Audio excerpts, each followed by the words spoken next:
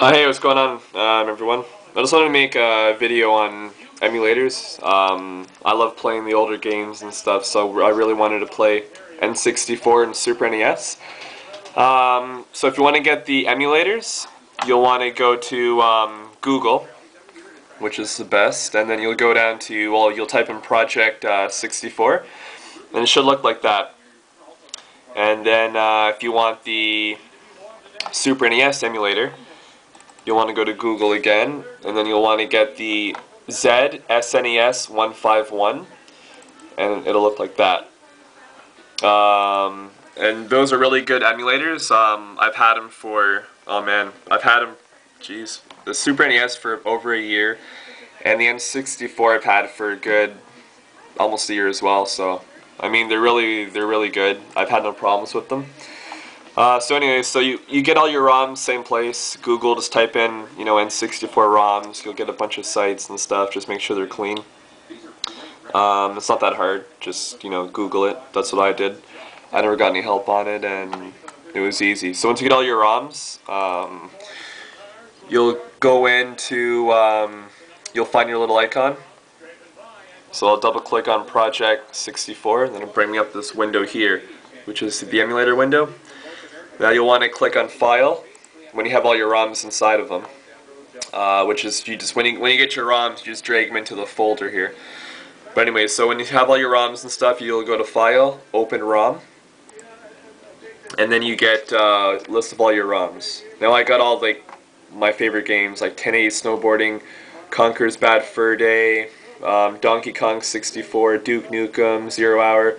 GoldenEye, Ken Griffey, Kirby, Legend of Zelda, Ocarina of Time, uh, Mario Golf, Mario Kart 64, Mo uh, Mortal Kombat 4, Perfect Dark, Road Rash, South Park, Mario, Super Mario 64, Smash Brothers, Turok 2, Wave Race, um, Wayne Gretzky's 3D Hockey 98, and Wheel of Fortune. Uh, so before that, you'll need a controller obviously to play the games. I use my N, uh, geez, N64. I use my 360 wired controller. Uh, so all you do is you just um, plug that in via USB, and then it'll uh, recognize it. and then you may have to do your control configs and stuff afterwards, but um, I'll click on Super Smash Brothers, so it should give you a little demonstration. Then it'll load up. Uh, I'm just going to skip all the, jump the volume for you. Skip all that stuff. No, I actually can't because I gotta, I haven't played this in a while. So you go to options, you could do all the controllers and stuff, so right now I have none, so put in my Xbox, and then you could do all your control configs, analog stick, you know, what button will be the A button, what will be the L and R button and stuff, and those are the C buttons. Your Z button will obviously be the uh, trigger for here, which is really good. So anyway, so I got recognizing my Xbox, so I'll go to OK, and uh, I'll go back to options there, full screen. Now, it should work. Yes, it does. So that's what it looks like. You get all like the same stuff as the N64 um. It's the same game. Pick your character and stuff. Um, what's really cool too is if you minimize or window it, get your options. You get all the cheats as, as well. So if you like that, um, go to System up here at the top. Then go down to Cheats. You get all your little cheats here. You get um, bonus stage, enable items, you know, yada yada yada. Click on here. You get the Mushroom Kingdom special stage. You get all the cheats um, all ready for you if you don't want to do them. Uh, so yeah, that's N64. Uh, let me bring it up really quick.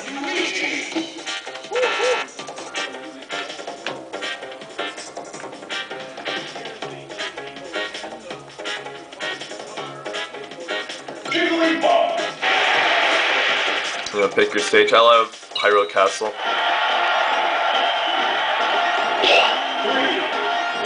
I'm Jigglypuff or I'm on Luigi?